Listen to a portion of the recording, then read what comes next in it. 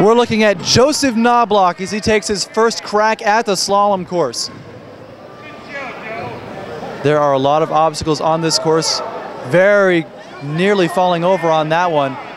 There are three spotters around the competitors at all times during the course of this slalom event just to make sure they catch him if he almost falls over or if they need any help going through one of the obstacles that they're there to give him. So this is the men's masters four division.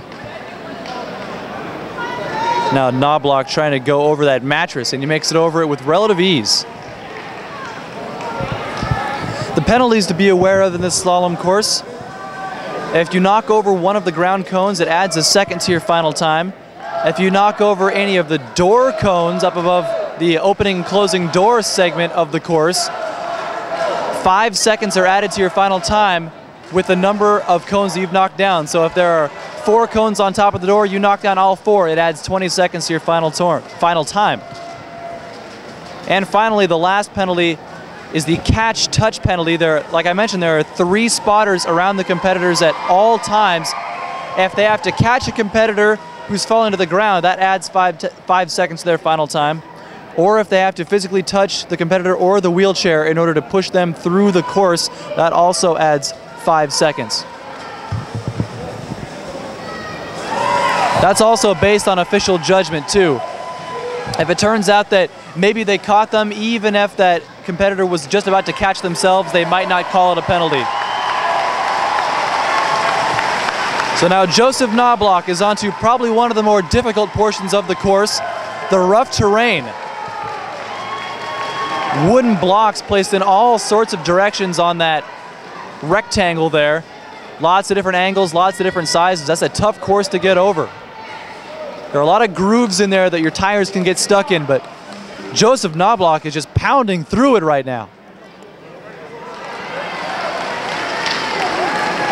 The arrows on the floor of the course direct the competitors whether or not they need to go backwards, forwards, if they need to do a complete circle before they continue.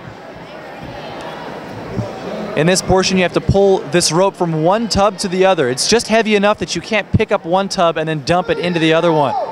Again, all of the obstacles in this course are intended to mimic some everyday obstacles that these disabled athletes might face in their everyday lives.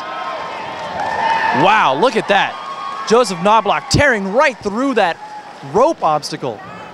Our first competitor, Philip Kearney, it seemed like that rope just went on and on forever had a couple people in the audience laughing at just the absurdity of it all, how much rope there was in that bucket. Has to get up one side of that ramp and down the other. And he does it.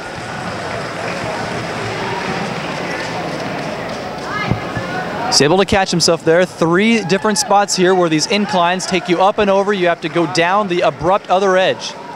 And he just gets right through it.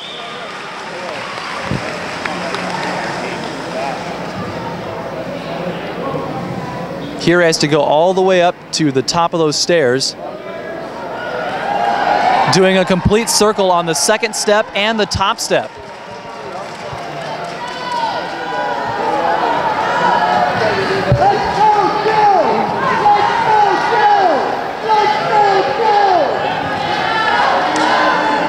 The crowd here is great at the slalom event. They've been behind every single competitor during their runs.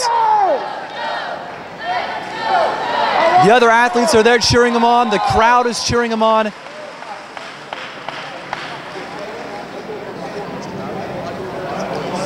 Again, we are in the men's masters division, which means these competitors are people who have done this before and done them exceptionally well.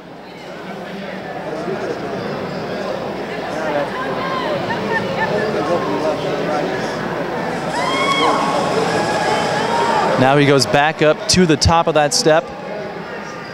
Does another complete circle, 360.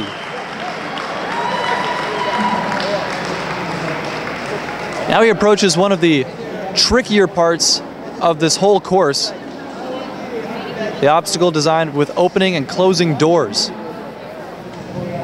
On each one of those doors, there are four cones placed on top, three or four cones. So these competitors have to open them very, very carefully. They would be docked five seconds for every cone that falls off the top of those doors.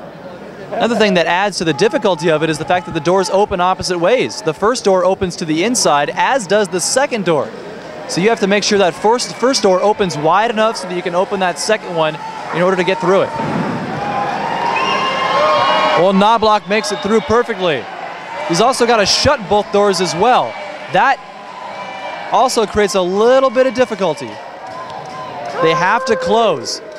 He's got the first one shut.